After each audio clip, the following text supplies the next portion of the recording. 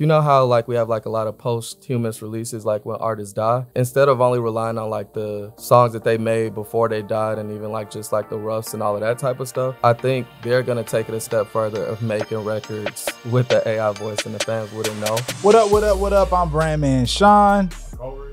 And we are back with the episode of No Labels Necessary podcast. You can catch us streaming on YouTube, Spotify, uh, well, Apple Music, all those great places talking about music, money, and the content creator economy, just entrepreneurship in general.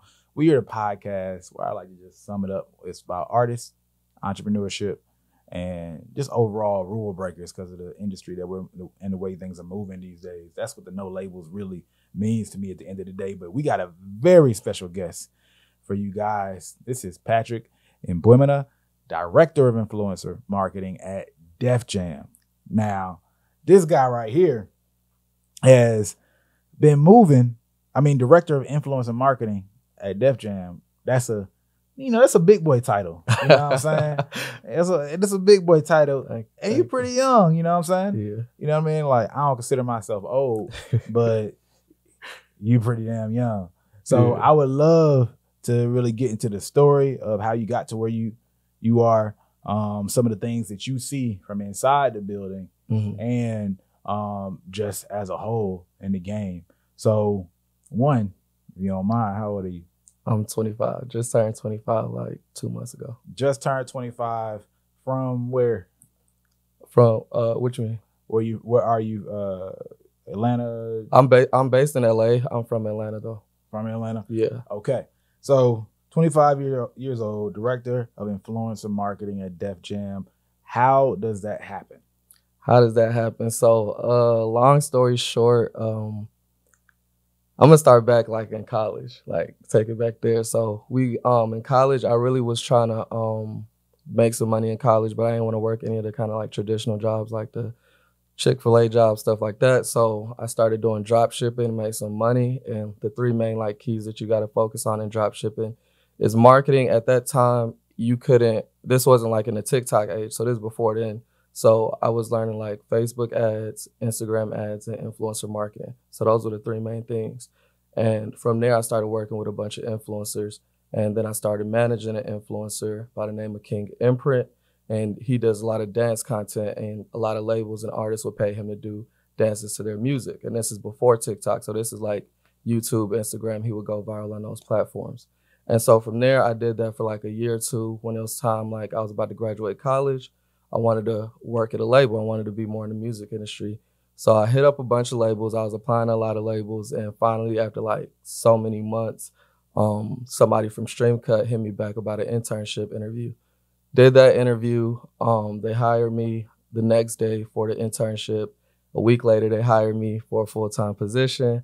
I worked there for a couple years as Streamcut on artists like Saucy Santana, Saw Baby, Jakari, Light Skin Keisha, etc., etc. And then um, Def Jam came around um, with Tunji. He um, he was looking for an influencer marketing person, and so one of my friends, Daniel, connected me with Tunji, and the rest is history. He hired me um, at Def Jam. Now, tell me this, right? Things came together right? You knew some people, you got to meet some people from reaching out, right? But you still had to be somebody that they were worth, that they wanted yeah. to put on, right? Yeah. So, like, what were you doing? Like, what what were you doing that you got talked to one day, hired the next day, and then basically promoted and and, and hired for real after a week? Yeah. So, um, when I came there, that was actually like they were that week. That was the they were doing like the rollout for Saucy Santana song with Latto up and down, and so they were going to be doing like a party bus and having him co- go to a bunch of different clubs, and they wanted to get influencers on a bus. And so the funny thing is, this was like they already had planned this for like that Friday, and my interview was on like Tuesday or something, and they were like, um, the, I was in an interview with the head of operations, and he was talking to me about my background, and so I had this whole influencer marketing background of working with a bunch of different influencers, and so he had actually ended up bringing in the co-founders into our interview, um, and like talking to me, talk, and they were talking to me about everything, and also interviewing me, and then telling me about what they're trying to do. And they asked, could I be able to get influencers on the bus? And at the time when I was sitting there, I was like, I really don't think I could pull this off because a lot of the interview, the in- influencers I was working with at the time were like younger, and like for a club thing, they have to be 21 and older. But um, I was like, yeah, of course I can do it. And so they said, come in tomorrow. And so I got it done. I got influencers on the bus. They um, made a bunch of content. A lot of them had posted like YouTube vlogs of the event. They had posted IG stories, all of that good stuff. It was a great event, great turnout. Um, and so yeah, they ended up hiring me there um, that next week.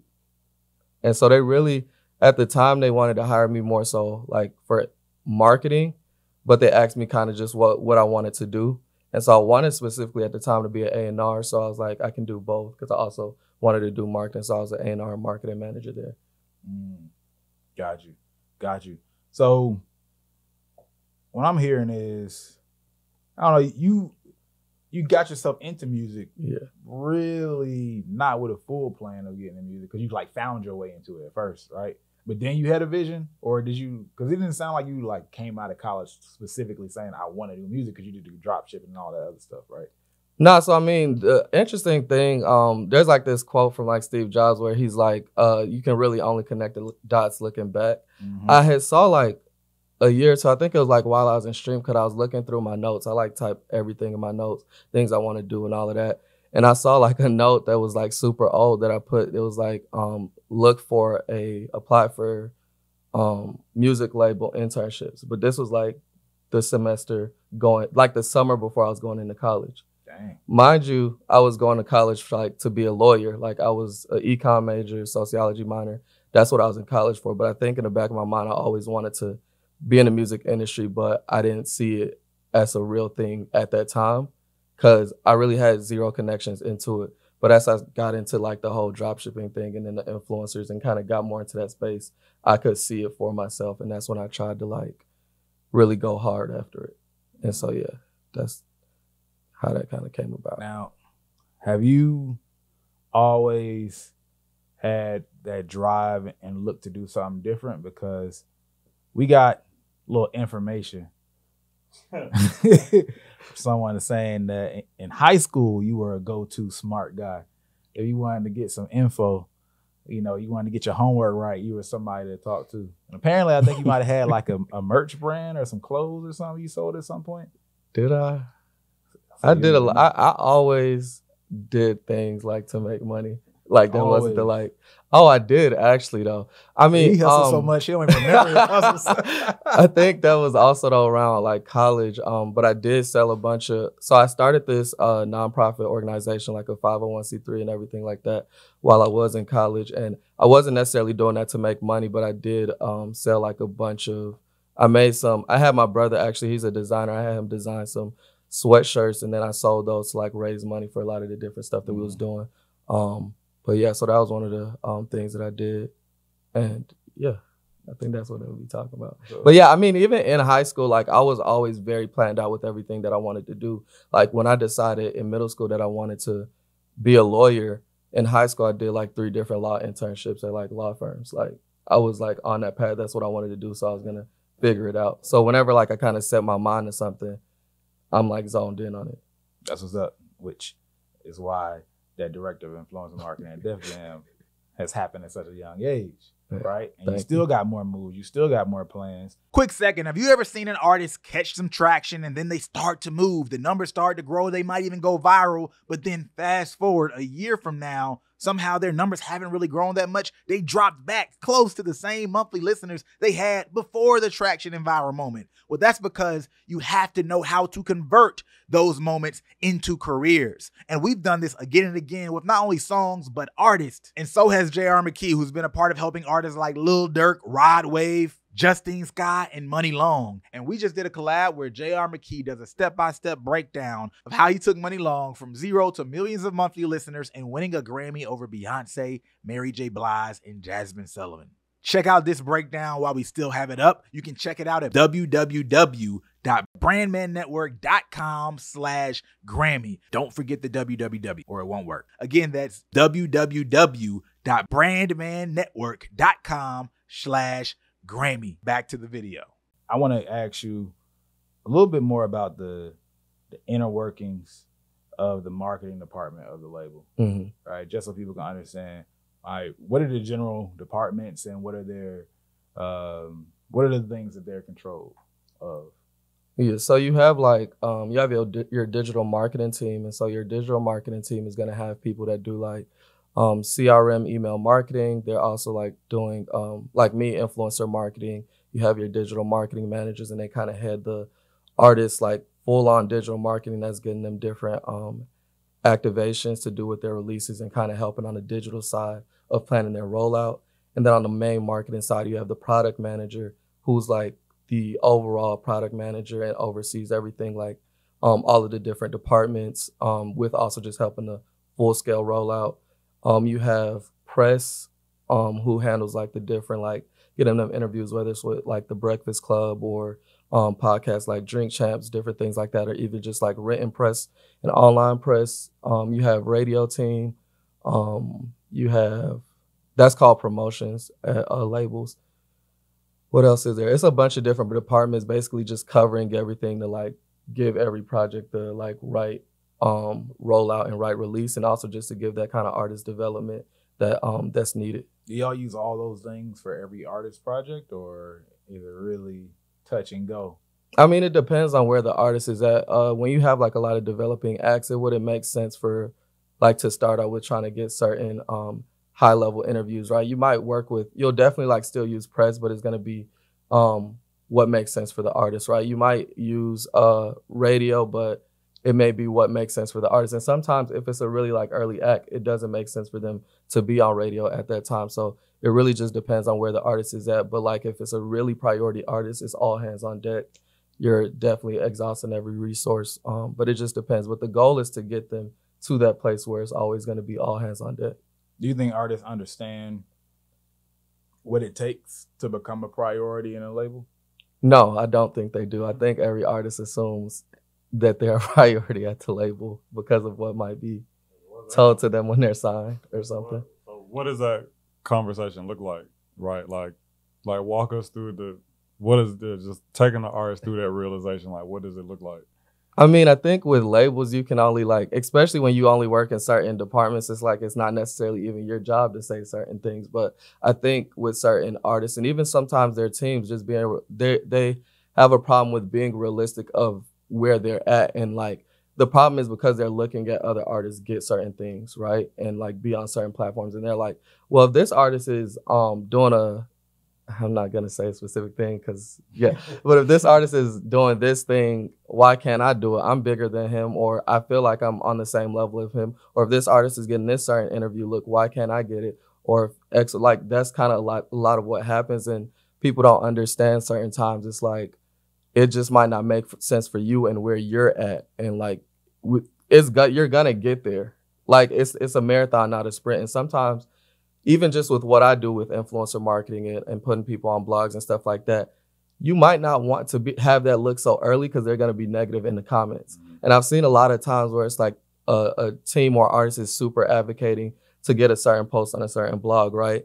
And then they get that post and it doesn't do good numbers or everybody's being negative. And i'm like it I, I kind of knew that was gonna happen. So it's like sometimes, but sometimes you just got to do it just so they can see, and yeah, sometimes you, you know you just like we just we're just not gonna do it at that time. It just depends. Yeah, and that's even what made me ask because I feel like once an artist gets to the stage where to the stage where the label is ready to spend marketing dollars, that's usually when they learn, right? Oh, yeah. I got 5K and this other artist got 500K, or yo, y'all are down to get him 10 Akademiks posts. Y'all won't even get me one say cheese post, right? And I mean, we do the same thing. Like usually, if it's something where we feel like the artist is sensitive, we'll let the the influencer say it, right? Oh, yeah. this shit kind of mid. Hey, bro, X says kind of mid. You know what I'm saying? Yeah. And there ain't too much we can do about that. so I, yeah, I was just kind of wondering, like, if, if y'all were seeing the same thing, like those are the same conversations kind of coming up. It, it's definitely those conversations that come up all the time, and I think um, people like lose sight of like what a label is supposed to be doing because they assume that um and what they're supposed to be doing on there and they assume when they sign that okay the job is finished and now that's really where it gets started you got to make sure that you're a priority at the label and you shouldn't really just be relying on them to push you because i tell i tell a lot of people all the time it's like if you're not even posting about your music why do you want us to be spending so much money on other people post to post about your music like that doesn't make sense. Yeah. Like you need to be like making us feel like you feel like this is the best thing in the world. And if you're not even doing that on on your end, you can't really be expecting us to be trying to spend this much money to do this type of campaign or that type of campaign. Like show us that you actually care about the music first. Yeah, that's a that's a good point. So what's the what's the most you you've seen me spent on an influencer campaign? Like what and what kind of came from it? You don't have to say the artist. Okay, yeah, cool. Okay, yeah, yeah. we did a campaign for an artist, um, and they gave me a very large budget. Um, and we did like everything. We did like Instagram seeding. We did a Twitter campaign. We did set up a Discord. We try to do like a Reddit campaign, and then also of course like a TikTok influencer campaign. And um, with the tw- TikTok campaign, it was a successful campaign. The sound has like over like a billion views on the sound, over um, half a million creates on the sound. I think last time I checked, it was like super successful. Like mm. the more you spend on TikTok has become super saturated, but um, you can still have successful campaigns the more money you spend on it. But the less you spend now, it's like it's a toss up if you're gonna have a successful campaign. But if you get a lot enough money, you can definitely like make something go viral on TikTok easily. Like if you've ran so many campaigns, it's like not that hard if you have a lot of money to do it. Yeah. So in, in that, to your point, like in that campaign where, where you have this large budget, do you feel like well actually before I even ask someone to ask, was that artist like active making content? Like did y'all have like were they a super active artist? I mean, when you're at a certain level, you don't have to be. Like active can mean a lot of different things depending on where you are in life. So like you're active maybe making one post and that post is going to yeah. do way more than somebody who needs to make 20 30 posts yeah that's true that's so true. like if you even get one post out of a person at a certain place that's even more than you need. yeah. You know. Yeah, yeah, that's true. That's true. Okay. Because I, I, was gonna ask just like send the because you made the point of like sometimes you feel like it's, it's you know it's, it's weird that they are willing to spend so much money on getting on other people's platforms. Yeah. When they're not even putting the, the work in to build their own platform. And this is something me and Sean talk about a lot. And we get yeah. into arguments with clients about like, yo man, you rather spend 10K to get on these pages versus saving that 10K, building your own platform, exactly. and to your point, doubling back when people know you and, and making exactly. kind of hit. So I guess what what I the question I wanted to lead into is is do you do you guys kind of have a bar for when you start introducing influencer campaigns into an artist marketing campaign or you know I know with influencer it tends to be very like a lot of times like moment based or kind of like you know I, idea based but like at what point are y'all looking at y'all rosters and saying like okay now it makes sense to do some type of influencer campaign? I mean, it, um, we took we're kind of I think this year I'm taking like more so kind of a different approach with it. I mean, everybody has their like respective budgets for uh when it's um when they're releasing something. And so like for me, like the budget I'm giving for the release is either gonna go towards like uh seeding it out on blogs, is gonna go towards doing like a TikTok campaign or a Twitter campaign or whatever I think makes sense. So like I base it off of what I think is effective for this release. Um and that's kind of what we do but also what they have to spend on it and then if i feel very more like adamant about something like i really think we should spend more on this or do this type of thing here and we don't have enough in that budget then we like figure it out on what exactly we need to do but it's really just about the specific release and seeing what we need to do as far as if it's like just a more so like a developing artist and there's like limits if it's like a bigger artist we're going to do like multiple of those types of things and have the room to do it like effectively. So it just depends. Okay, got you, got you. Hmm. Well, you, you want to stay on that same subject because I wanted to pull up a clip real quick and just get the get your opinion.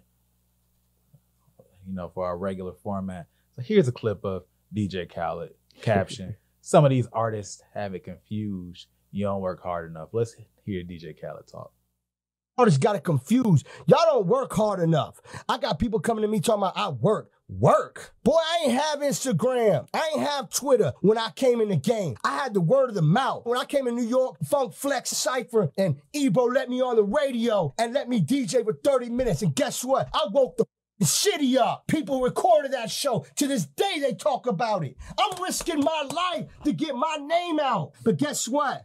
I wouldn't stop. They said, You see that boy DJ Khaled? We didn't have Instagram or a blog for them to see it, but the word of mouth in the streets talked about it. That's how I came up, going city to city. You heard that boy Khaled? That boy Khaled crazy. That boy Khaled got a talk game. That boy Khaled rips any club down. These new artists, they got Instagram, they got the morning show that the minute the interview's done, it's on the mother internet, the biggest promotion. So you got the outlet to be great, and you out here thinking you cool? Y'all crazy. I would love to know your thoughts on that clip. Uh, nah, I, I totally agree with him, and I feel like people have it easier now with so much social media. Like you have access to. One of the things I see with a lot of artists is that they like to do this mystique thing where they're like, I don't want to, um, I don't want to post anything on my page, and I just want to be like mysterious. And I'm like, one, it's a different age. Two, nobody cares about you. Nobody knows you. So it's like, it's just not going to work like that. We're like more in a time where people want to know so much about your personal life and all of that stuff. It's like, unless you're already at a certain stage, it's near impossible trying to use that as a marketing strategy and thinking mm-hmm. that you're going to just get people to care about what you're doing. Like you have to like literally be active on the TikTok, on Instagram, on all of these platforms, even like creating a Discord or just um, being in Reddit communities, whatever it is. But you gotta um, even being on Twitch. It's like there's Twitch sh- streamers who are putting out music who have like more monthly listeners than actual artists. A lot. So like you you really just gotta people care more about like what you're doing in your personal life sometimes more than the music and it just helps supplement it. But um we see a lot of artists that don't want to do that work. They just want the label to do the work for them and post about them. So what do y'all do about that when y'all feel like an artist is in that place? I mean, it's a case by case basis. And I think sometimes it also depends on the music. Cause some artists, it's like they have really good music and it could make sense. And it also, they might have more of like a personality where it's like, I could see this working. And some artists, it's like, no, you're gonna need to really actually like lean in on these platforms and make it work. Um, like it really just depends on, on the artist by artist cases, but we still like harp on them that they gotta put out content. They really like, and we help them with like making those plans and like helping them with ideas of what to post. It really just depends.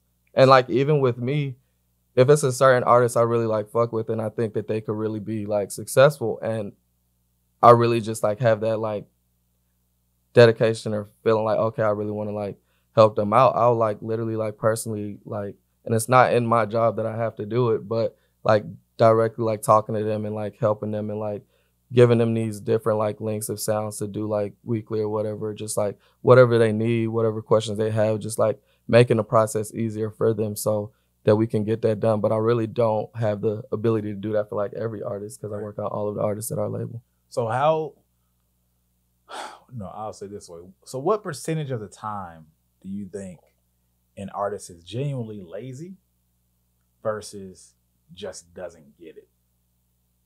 Like what it actually takes and what it actually looks like. That's a good question.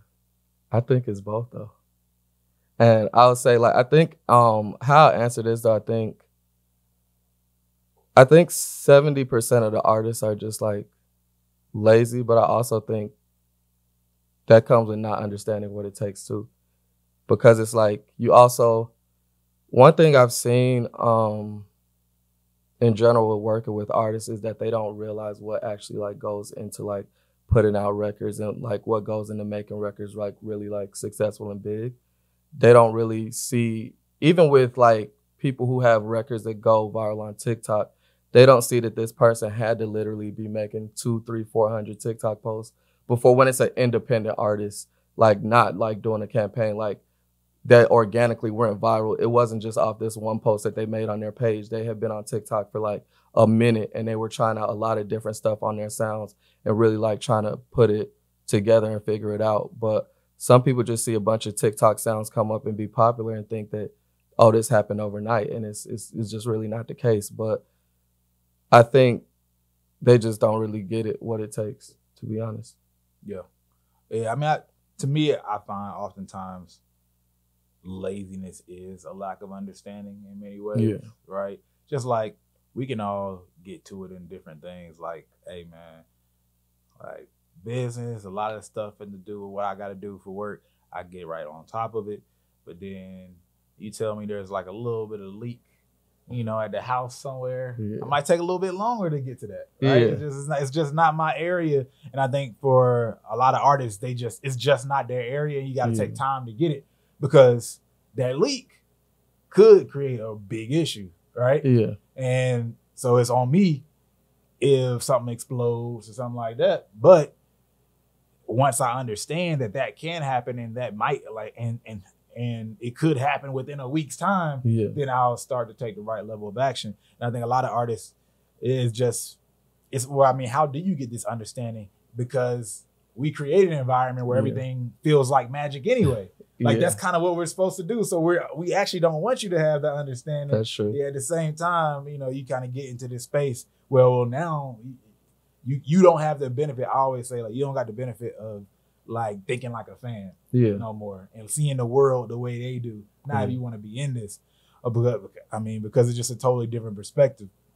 So, I mean, with all that in mind, I actually want to transition to something. Can I add on to that yeah, real yeah, quick? go ahead, go ahead. Okay, yeah, let me add on to that because that kind of reminded me of something to that point of like the laziness and sometimes not understanding. I think even with some artists, their understanding of me doing what I need to be doing is like being in the studio every day and like making a bunch of music and perfecting my sound and doing all of that. Right. And I think that's cool and all, but I think the person that goes farther is the person that's like, okay, I'm gonna work on this one song, make sure it's a hit song, and then spend so much time on like YouTube and all of these different things, watching marketing videos and figuring out how I'm actually gonna push this song effectively and like pushing this one song for several months if you feel like it's that hit song. If it's not the right one and you've like exhausted really like trying to market it in so many ways, and I'm not even talking about paid marketing, but you've exhausted everything and it's just not connecting, maybe moving on to that next record and trying it with that. But I think that person goes a lot farther than the person who's like, I'm just gonna put out a bunch of music and be in the studio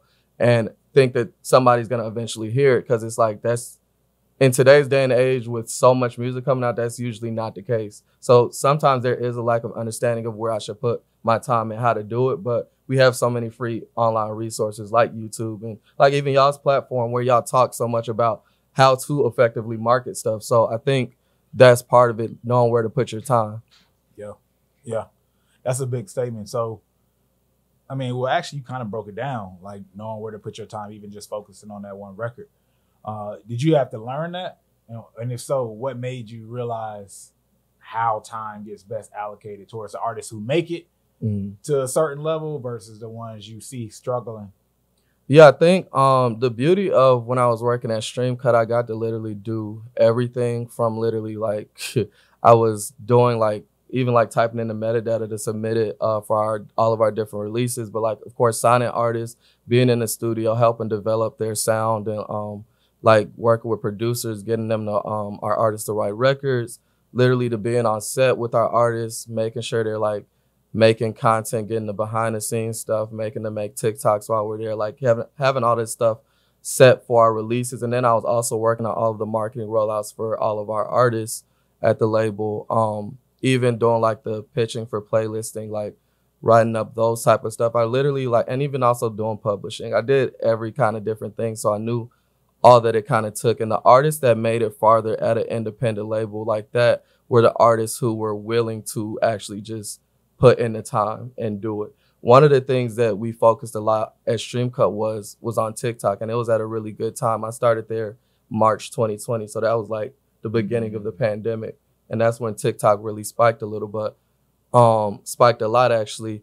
But we forced that on all of our artists so much, um, beyond just like us doing campaigns, but like literally having them post on their platforms. And I think you'll see with a lot of the artists that came from Streamcut that they're super active on TikTok at this time. So it's like the young baby Tates of the world, the Lattos of the world, Saucy Santanas of the world, um, Jakari, Light Skin Keisha.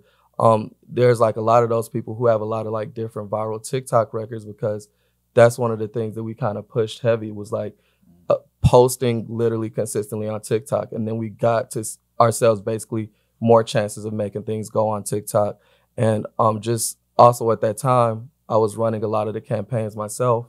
Um, as far as like in the early stages of like from ground level, I would be like doing a lot of the TikTok campaigns, and if anything kind of like broke, then we would scale it um, to like bigger agencies at that time and stuff like that because I have my own agency, and I got to spend a lot of money on like seeing the effective ways to like run TikTok campaigns at that time, and because it was early, we had a lot more success. I think even at that time, we ended up having a lot of our artists on the end of the year TikTok list because we were just heavily focused on that. Mm. Okay. Okay. See, especially, I mean, you're talking about 2020. That was the time. Yeah. That was the time. For real, for real. Okay. So I with your role, right, and looking at the what do you call it? The I mean the executive suite. When I look at the labels, I've noticed the way people move in the music world is a lot different than a lot of traditional corporations in terms of like going from label to label and Yeah. team to team, and then they might end up back to the same team. Like, I think a good example would be uh, Amber Grimes, right? Like I remember she, I don't even know all the different positions, but then, Yeah. then she back at LVRN, right? Yeah. And it was within a short period of time. Mhm. Like, how do you view the naval lab, the label navigation system for, you know, the people who are in it, right? And, and, and young professionals, and depending on what they're trying to achieve in their career. I think it really like the label game in general first. It's like one thing to even get in it, and it's hard to even break that barrier of getting in the music industry. But to be honest, it's harder to stay in the music industry if you're not really like consistently like having wins and really building relationships. You're not gonna really get too far, and you don't want to. I'm gonna say that. Um, you're not um gonna get too far, but you really gotta if you're trying to navigate to a different place, right? You want to have like recent wins. You want to have like um good relationships because that's one of that's what's gonna get you that next job. Especially if you're in a place where it's like you could be um get if you get fired, right? Let's like say you get fired because sometimes that happens and it's like sometimes it's not even like your fault. There might be just like mass layoffs and stuff like that. If you don't have like uh these recent wins or you don't have like this good network, it's gonna take you a minute to find a job because I don't really what I've learned is like it's very at least to me from my perspective, it's very impossible to get a job by applying to them. like on their like things. Really that usually to me it doesn't happen. Um it's like more so a thing of where it's like your connections and relationships are letting you know, okay, somebody's looking for this or mm-hmm. somebody's looking for that, or you see this posted and you know people that work at that label and then you hit them up about it, and that kind of gets you more of a better position positioning and getting that job. You might still, of course, have to you will still, of course, have to do those interviews, but you already got that like one up on the other people who might be more qualified. And I mean, yeah, I think the as you continue to build your resume though, you have more recruiters and people hitting you up for like different positions and stuff. But in that like stretch of like first getting into it, it's more about relationships. It's interesting you say that, especially the recent wins, because I as I learn more about sports, so I got some homies that work for sports teams, um, and then hearing about the label systems and how y'all work is very similar. Where, like, let's say the win, the, the team wins the Super Bowl this year, Mm. right? And then the reason it gets so hard to to get another one because half the damn team leaves because they get promoted, right? Oh, the Yeah. offensive coordinator is now a head coach over here, and now Mhm. this person got picked over to be the head of recruiting over there, right? That type of thing happens be- because those are those moments where you get those advancements. If you don't get a win, like, and, or there's no big wins within the, uh, you know, uh, the company, Yeah. then like nobody's really getting promoted like that. It's, it's often going the other way.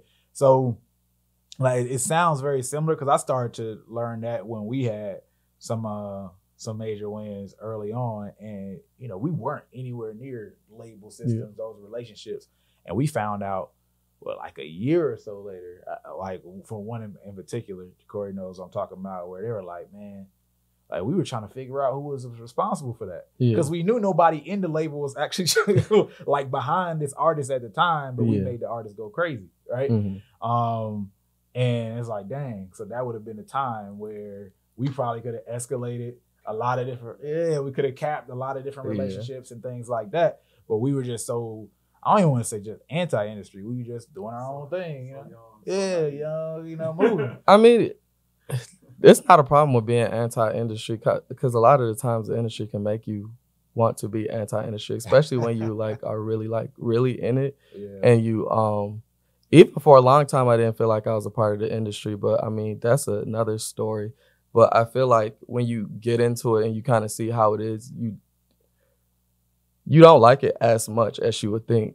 Honestly, sometimes it makes you want to leave and, and get out of it. But I think also it's too. It's just about really just when, like to your point of like when those big wins happen, a lot of people leave. It's like it just depends on what makes sense for you at that time and really what your goals are. Like even like just um like a couple months ago, a label hit me up about a another major label hit me up about a VP position, but that's not necessarily like something I'm like really pursuing or anything. But um it just it really depends on like where you're trying to go and what you're trying to do um with where you're at. And if it's like put opportunities don't come like just flooding all the time. So if it's like this is what I want to do at that time and it's the right time, you know, go for it. You know, hopefully you have your blessing from your peers and usually you should, but um it just depends on what what it what it feels like at that time.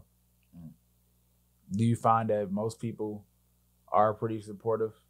Like, like, every, like the the general culture is like, hey, you get yours, I'm, I'm trying to get mine because I feel like, I mean, I don't know because this is music and the, and it's like a different type of weird interpersonal friendship mentality that kind of gets assumed and exists in in um, music more than like a general corporation. But I know Mhm. like the corporate world, all my my people I know who work in like regular corporate, they um it's almost like, hey, get yours, get whatever you can, because it's like we all just trying to get ours from the man, damn near. You know what I mean? Yeah. Like, is it that type of mentality in music, or is it sometimes people feel like, oh man, you you leaving me, or you know, how does that go? I think it really depends on how you move and like the relationships that you build because everybody has their own like agenda in the music industry sometimes it feels like but like for me I value like relationships more and so like I'm never like if something isn't just the right time to do it I'm not to necessarily do that or if it just doesn't feel right with my relationship with certain people I'm not to do it at that time or I'm to be specific about how I do that and doing it in a way that it makes sense. But I think um, a lot of people don't do that in this industry, and I think a lot of people just kind of more so do what's best for them. And I mean, you know, that's not a long term. That's not a great long term thing to do. Um, but you know, everybody's different. You know, so it just depends. All right. Now, with that being said, I want to play this other clip. Nah, I'm not gonna play the other one. They're kind of wild for that. You guys see that Instagram is going to be charging eleven ninety nine That's right. a month. And Twitter already charges it. Elon set the precedent. You want that blue check? No problem. Eight bucks. It's not just Instagram, it's Facebook too. It's Meta. Meta. In order to get your account verified, the name on your Facebook is going to have to match the name on your ID. Lil Ricky, spelled with with a, the number one and a three, it's not on your identification. So that's problem number one. Hmm. No businesses. So all that paying for your business to get verified, to get, you know, impersonator support and all that's out the window. So all them different pages you created where you didn't know if you were a business, a creator, an entrepreneur, the tooth fairy, the Easter bunny, all of that's going to come back to bite you in the ass. But you're going to have to provide business information, which means you're going to have to link a bank account to it, which means that you're going to have to ultimately get an EIN, which means that all them days of freeload and hanging out and all these days of people just running ads up on you and taking all your money and all, all those days are done for. It's done ski. Now, they they said a lot of different things. Yeah. there. The part I want to focus on actually is first, since you do so heavy in the influencer world, is do you think the value of Instagram, uh, Twitter, Twitter, yeah, doing these purchase verifications is going to mess up the idea of being verified? Period. Yeah, I think it, it waters it down a lot. Um, like even just a lot of influencers and celebrities like been posting on their story about how they don't like it in general, and I think it definitely like waters it down. Um, but I think honestly, shout out to like Elon Musk because everybody looked at him crazy when he rolled it out for Twitter, and now like Instagram is following it, so it must be working on their side. But um, yeah, I think it kind of waters it down.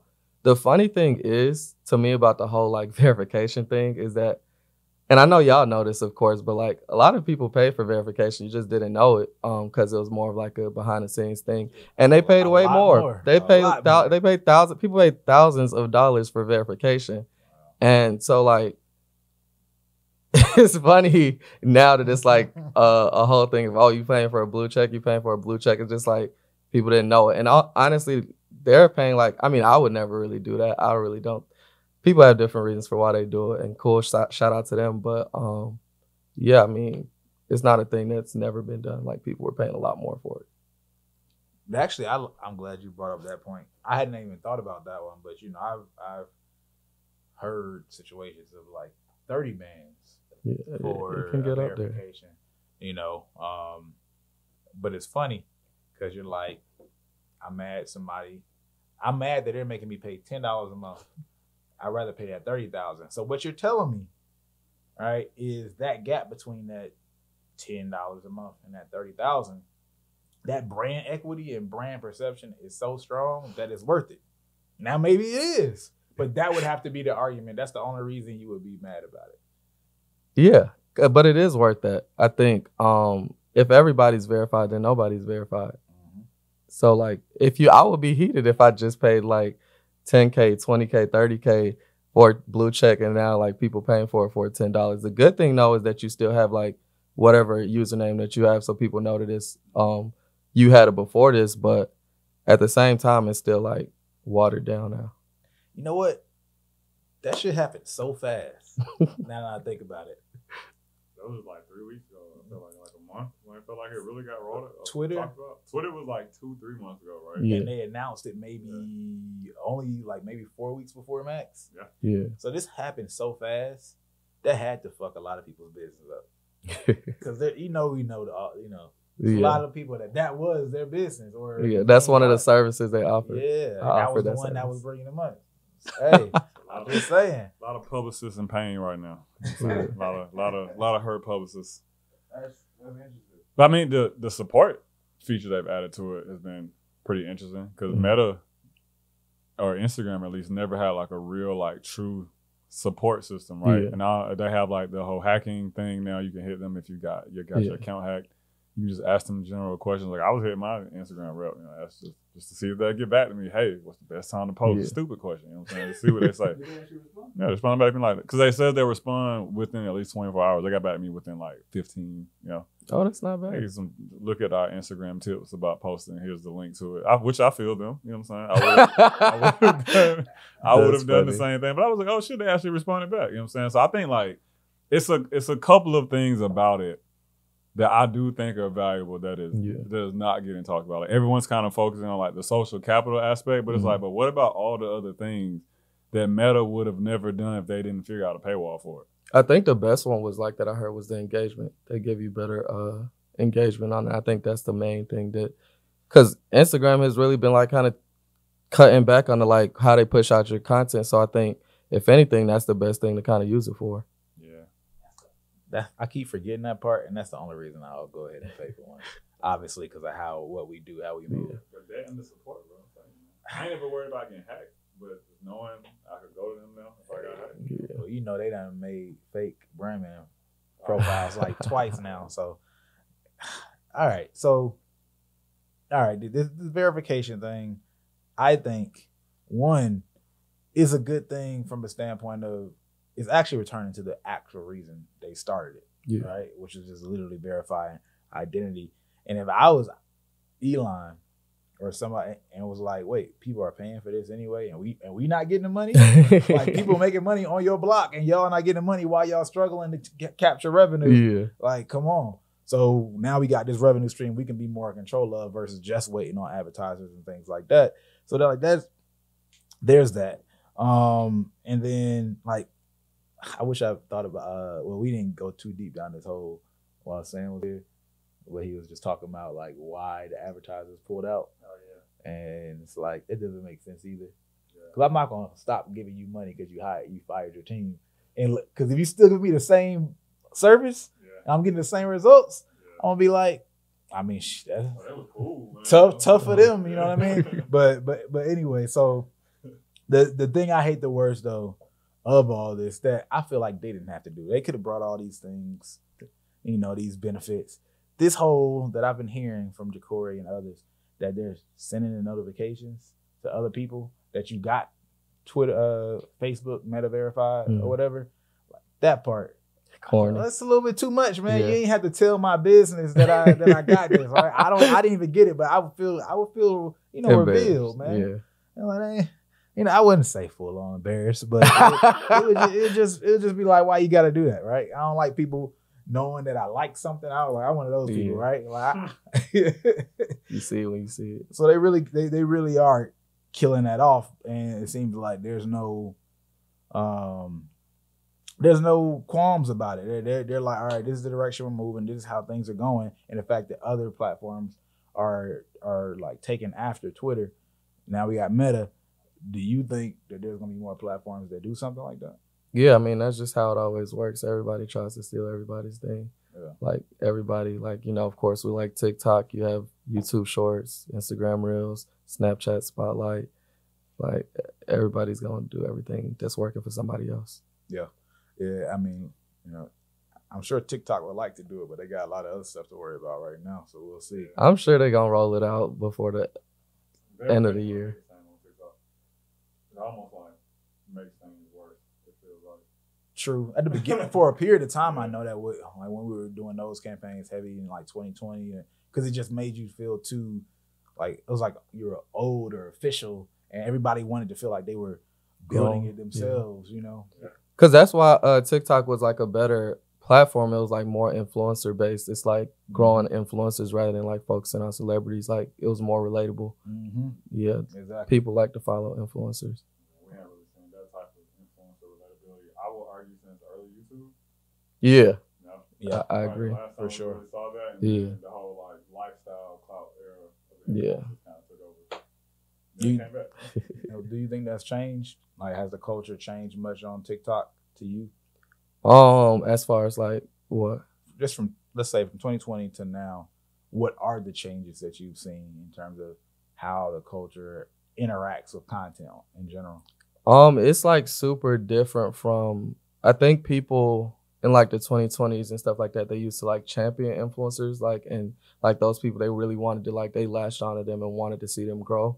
Mhm. Um, I think TikTok has now become it still has those people that's like finding their way and it's like more relatable and a lot of the content that you want to see, but it's a lot more saturated and people like especially with these big creators focus on like the drama that they would focus on on like the Instagram places and stuff like that. It's not as bad, but it's still becoming one of those things where the influencers that are super are super big are now looked at kind of as celebrities and have those same problems that those Instagram celebrities have. Mhm. Okay. Okay. And yeah, it's interesting how you said they champion influencers before or like champion people becoming influencers. Yeah. Like we're gonna help you grow and become this thing. And it seems like now like that culture has been set and it's matured where I don't know, people are low key jealous, right? Yeah. Like I, I want to be that influencer. It's no more competitive where I don't want to let anybody else be as big as me anymore. Like it's more uh, it went from like everything's free to now right we're we're we're any other platform like you said. So with that being said how do you hmm how do i ask this? How do you view independent labels versus distribution companies? I think uh distribution companies are more trying to be independent labels now. Independent labels are more like trying to be labels now, if that uh makes sense. I don't think independent labels are actually independent anymore. Um like they're just not like most of them are all in joint ventures, at least the Mhm. ones that you as most artists want to sign to. And then distribution companies, they like to call themselves distribution companies, but they offer label services for the artists that they actually want to do that for. So it's like it's technically like an independent label because it's like you have the resources there. Even with an independent label, you're not giving those resources to somebody that you didn't. All you're really doing for them is distribution because you don't have as much money as a label to give everybody a certain amount of budget. usually with independent labels, it's like, okay, if you're really like growing, um, and really like early, we're gonna give you a distribution style deal. Um, and so like that's the same as a distribution company where it's like, but majority of the people get. I mean, honestly, even at independent labels, majority of the people get distribution style deals unless they're a bigger artist. And if they, and that's if it's a independent label that cares more about like maintaining your rights, because some people will give you a 360 deal and like a, a, a major label style deal where they take ownership of your masters but still not give you really any money. so it just really depends on like what you negotiate. You might be lucky and get a distribution deal if they really want to work with you, or if you don't really have like good lawyers and stuff like that, you get that major major label style deal where they take ownership of your masters, but still don't give you any money. Um, but yeah, like distribution companies is like essentially the same thing as independent labels. Yeah, I've, I've definitely noticed that, and it's like the way I describe it is is like the new finesse. Yeah. Right? Majors realize, oh, they look at us as bad. Exactly. So we're gonna send out these other soldiers, Literally. funnel them and bring them back home Exactly. undetected, right? And it's it's interesting now knowing that, right, and seeing that from inside and outside at this point. How do you view? Let's just say you had your own artist, right? Whether you're a manager or his or his label, uh, you have your own artists. Are you in favor of one type of agreement or one type of system over the other, or like how would you build infrastructure? So for me, um, I'm gonna give you three different. I, I I wear a lot of different hats, right? So if I were to like have a label, I would do more like the master style deals because I would be trying to like invest in the artists and break them and do all of that stuff and be spending a lot of my time and resources um to make that work, right? Um as an A and R, and plus like on the label side, it's like you're making an investment. It's like, and if you're investing a lot of artists, you really want to see that work. If I'm especially like if you let's say you do a joint venture with a major label, it's like you have to like report to them and make sure like you're having wins and making money and they're not just throwing away money. And if you're spending your own money as an independent label, you don't have that much money to spend. So again, you need to make sure that there's money coming in. So you have to structure types of deals that you give out in a certain way. Um, at Streamcut, they were our co-founders used to be like they're still entertainment lawyers, but they were entertainment lawyers for like 10 plus years or so. Um, and they created their independent label favorably for artists, whereas they didn't take ownership of any masters because they saw artists getting into like really bad deals and labels doing a lot of these like horrible deals. So that's why they created Streamcut. And so to benefit there, we did more of these like distribution style deals or like um profit split type deals.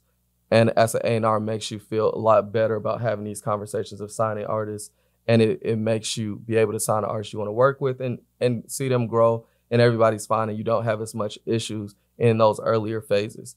So as an A&R, I kind of prefer that model. Um, but it doesn't make sense for like as far as like a major label to do that because they don't have to do it. Yeah. So Yeah, yeah, it just depends. I mean, for the, some artists, they give like those deals where they do like profit splits, but you have to be really like big. But I get it. If I'm in like the hat, like if it's my label, I'm going for a major label style. But as like an A and R deal, prefer that type of style. Yeah, I mean, I think you know we demonize certain models, but either way it goes, it just has to make sense Yeah. all the way around, right? It's like, oh, well, if I don't have a percentage of this, or I don't have a piece of this, I don't have a piece of this, and you want this much money, right? Then you can't expect that much money actually, Exactly.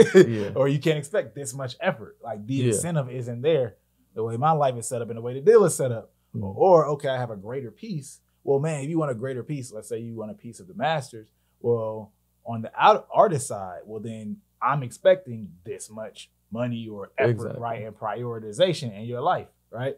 So if that comes, then great, just like any other business, right? Oh, if you actually do grow the business from, you know, 500k to 50 million, then all right, that might It worked make a out lot of you. sense, right? But if I'm only getting a, a certain piece and I and I don't actually own any of the main thing, Mm-hmm. shoot, my incentive to grow it from 500k to 50 million, shit, as hard as it is, I, Yeah. I could go make that money somewhere else. right? Exactly. And I don't think artists see it that way. I think the problem with a lot of artists too, when it comes to like having these conversation deals, they always think that like somebody's negatively out to get them, but they don't think of the other side. Like you haven't really built leverage, so like you're looking at, oh, I'm supposed to get these type of deals because this is what I see on the internet. But how much money does your music actually generate for you currently? Like, what do you make in a month off of your streams? What do you make in a year off of your streams? Now, why would I pay you X amount of dollars? Why am I paying you a million dollars um, and give you ownership to your masters when it doesn't even make you a thousand dollars a month? Yeah. Yeah. That doesn't make any sense. Like, that doesn't make any sense. So I mean, it's it's really about kind of thinking about that and like before you even try to get towards a major label deal, building that leverage to where you can really come in there and ask for what you want. I think a lot of people should really like build some leverage, go to an independent label or a distribution company that's like better than the average. Like, cause you start off with a, like a TuneCore or whatever or DistroKid, right? Mhm. Cool, you build your leverage. Maybe you then look at distribution companies or independent labels to take it to a next step. And then from there, you can look at like a major label, and there you're gonna get the best possible deal. I think. Yeah. Yeah, I mean, I guess it comes down to this era having the advantage of hearing so much information, but the problem is all this information doesn't apply to everybody's situation. Exactly. Right. And it really should always just be about the deal that makes sense for you at the table. Now, the problem only becomes when the deal that makes sense for you in your mind is just based off of like lack of education. So, so it could sound like it makes sense, and then it's like, ah, no, that did you actually got into a bad deal, Yeah. right? That, that's a that's a whole nother thing. Um, or on the other side, you're judging it the wrong way, where you don't think it makes sense for you, and you think somebody's trying to get at you, but like you Mhm. said, you don't understand the other side of the table and why it makes sense all the way around, right? Because there are people who do get into those deals that are highly favorable on paper, but then they are unhappy with the work that ever gets put behind them. Right? And that's a, that's another thing that people don't realize with a lot of these labels. It's like if you get this very generous deal towards you, a lot of the times, and it depends again on who you are and where you're at. It's like, why would I invest so much into you if like we basically are in a 50-50?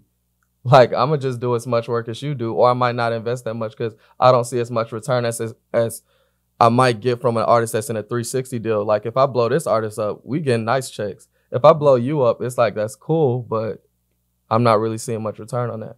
Because it's the same shit. it's the same shit that artists are trying to advance and build leverage for, right? That Yeah. same idea of why would I go to a label when I cannot have a label and make less money uh, on top line, but still take home more, Yeah. right? It's the same thing. Well, why would I get in this deal with this artist when I can make less money over here with this other artist and still take home more? It's the same concept. So you should just think about it that way. Keep it simple. Like everybody's trying to make the most money they can with the least amount of effort. Doesn't mean that nobody wants to work hard, but if I know that I'm going to work hard regardless, I want to make as much money as I can Yeah. for that hard work.